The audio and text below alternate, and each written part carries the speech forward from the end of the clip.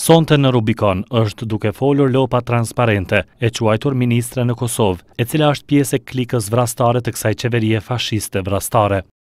Ky ishte statusi që ditë më pare kishte publikuar në llogarinë e tij në Facebook, anëtari i Lëvizjes Vetëvendosje Sami Kurteshi, me të cilin ministren e Drejtësisë Dhurata Hoxha e quan lopë. Lidhur me këtë ofendim të zotit Kurteshi reaguan deputetët e Kuvendit. Ajo çka më shqetëson është fakti se nga njerëz të tillë është e papranueshme, por edhe nga të gjithë të tjerët, që me një fjalor të tillë të shkatërrojnë familjet shqiptare në Kosovë.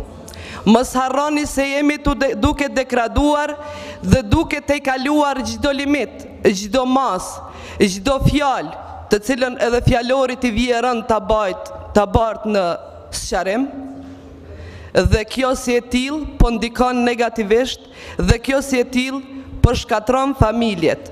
Nëse ne vazhdojmë kështu, atëherë për çka flasim kaq shumë Kosovë për Kosovën, për tokën e Kosovës, për shtetin e Kosovës, kur shkatërrojmë familjet tona, kur shkatërrojmë ardhmërinë tonë? Dua të them që njëjtë siç ka qenë e papranueshme edhe gjuha që është përdorur kundër grave të shoqërisë civile, njëjtë siç ka qenë e papranueshme edhe gjuha që është përdorur kundrejt kolegeve të mia në LDK shumë shpesh, kundrejt Vlora Çitakut, kundër Donika Kadajt, kundër Albulena Haxhiut e shumë kolegeve të tjera në këtë kuvend që janë ballafaquar me ofendime të natyrave të ndryshme, njëjtë është e papranueshme dhe gjuha që është përdorur ndaj zonjës Dhurata Hoxha, gjuha e tillë duhet të dënohet nga të gjithë ne dhe nuk duhet asesi të bëhet model i politikëbërjes dhe model i trajtimit të njëri-tjetrit në Kosovë. Unë solidarizohem dhe është shqetësim i shumicës besoj duhet të këto një herë e mirë të ndalen është një diçka që po instalohet keq në skenën tonë politike.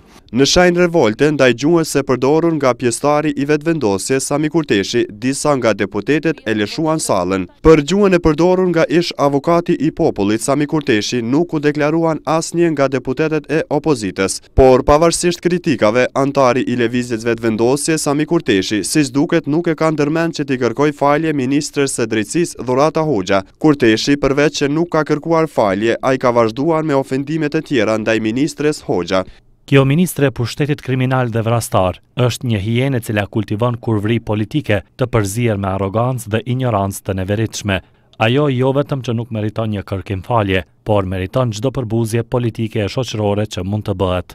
Ministrja e Drejtësisë Dhurata Hoxha nuk ka reaguar në lidhje me etiketimet që i janë bërë asaj.